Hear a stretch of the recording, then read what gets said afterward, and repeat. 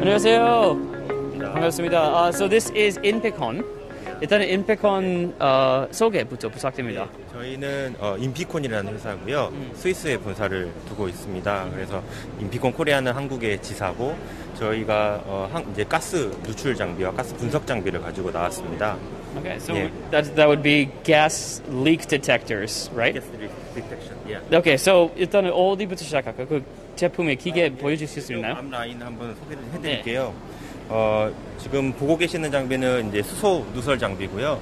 어, 수소와 헬륨을 어, 선택적으로 어, 특정할 수 있는 장비입니다. 그래서 쉽게 말해서 어디에 수소가 누설이 되고 있는지 또그 양이 얼마만, 얼마만큼 나오고 있는지 정량적으로 측정할 수 있는 장비입니다. It can tell you where uh, heli- or hydrogen or helium uh, is coming out of, is leaking, and also how much is leaking. 네, 맞습니다. 예, 그래서 요건 이제 sniffing 방식이라고. leak sample이고 This is a leak right here.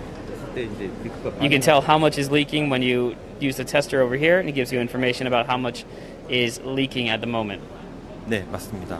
그래서 실제로 어, 완성차의 어떤 부품이라든지 또 어, 수소차의 정기 검사 때 이 장비가 사용이 됐다고 보시면 되고요. 요거는 그 다음에 이제 The next one we're going to look at is over here. 보시면 똑같이 이제 수소를 어, 검출하는 장비인데 이 장비는 이제 어, 방폭 존에서 존 제로에서 사용할 수 있는 방폭 인증을 받은 제품입니다. 그래서 그런 차이가 있고 휴대용으로 이제 사용이 가능하고요. 네. Uh, the difference between that one and this one, this is a hydrogen uh, leak detector as well.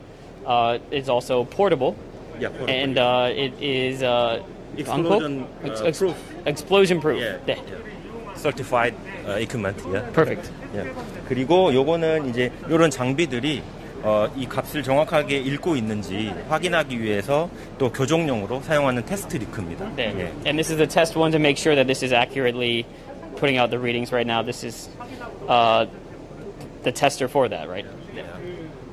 그리고 어, 요거는 이제 똑같이 이제 휴대용으로 어, 검사할 수 있는 어, leak detector라고 보시면 되겠습니다. So another portable leak detector over here. 예. 그리고요. 네. 네. Thank you so much for uh, showing us your products. 네. 감사합니다. 예. Uh,